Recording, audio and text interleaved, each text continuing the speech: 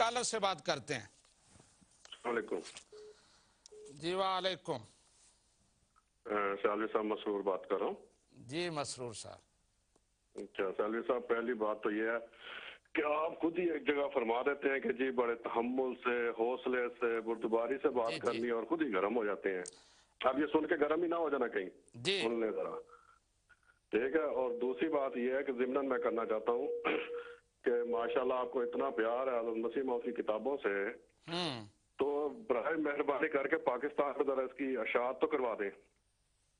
अगर देखें ये किताबें अगर बकौल आप इतना प्रचार कर रहे हैं तो इसका बेस्ट हल क्या होता है? बेस्ट हल ये होता है कि इंसान इसकी जो प्रचार आपने बंद करवाई हुई है ना वहाँ के लोगों पे असलियत ना ज़ाहिर हो और जो हवाला जात आप बता रहे हैं वो लोगों तक ना पहुँचे।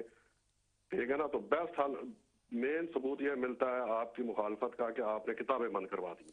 मैं यहाँ किताबें दिखा रहा हूँ ना बता रहा हूँ उनके हवाले। ठीक है मैं यही तो बता रहा हूँ आपको कि इसका देखें हमारे पास जब कोई किताबें होती है हमारे पास जब कुरान शरीफ मौजूद है बाइबल मौजूद है तो हम उसका प्रचार करने से डरते नहीं है। हम्म। क्योंकि हमें पता है कि उसमें हकीकत है। इंसान वो पाबंदियाँ लगाता है जिसको खौफ हो।